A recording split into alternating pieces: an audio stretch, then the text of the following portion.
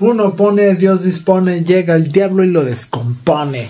Pues ayer supuestamente les traería dos fragancias del día, uno por la mañana ya que me fui a un rico desayuno y yo en la tarde porque íbamos a ir a pasear, íbamos a ir al cine. Pero ¿qué es lo que pasó?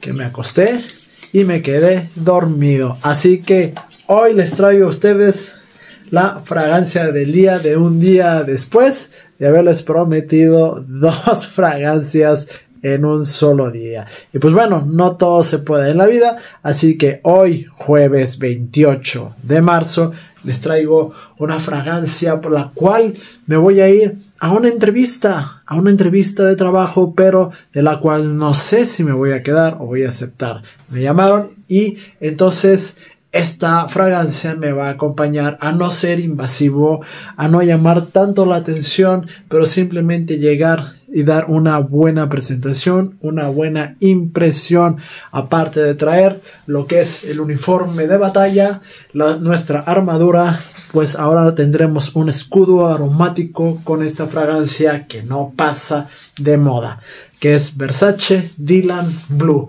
una fragancia muy rica, ¿Por qué? Porque lleva en sus notas esta famosa molécula que es el ambroxan, una fragancia riquísima de Alberto Morillas que tiene entre sus notas bergamota, hojas de la higuera, unas hojas de la higuera que no dan tanto ese aroma a tabaco sucio, a tabaco prendido o a cigarro como algunos lo podrían asociar, pero también lleva unas notas acuáticas, el ambroxan, la pimienta y abatonca junto con el almizcle con unos toquecitos inciensados. Una fragancia totalmente azul, una fragancia totalmente eh, ah, rica, compleja, pero a la vez sencilla.